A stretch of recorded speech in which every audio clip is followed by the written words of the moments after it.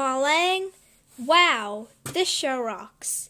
This show is about a bunny called Molang and a chick called Piu Piu, and they like to go on great adventures.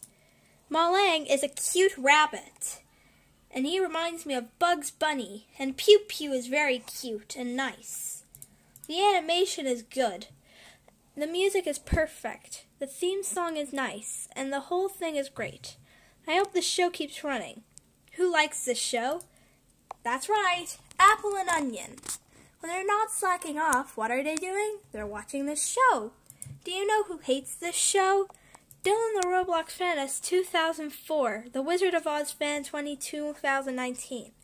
But I respect his opinion on it. Molang rocks, and so does Dinotrux. Franny's feet sucks. End of salute. Next salute, Mixels.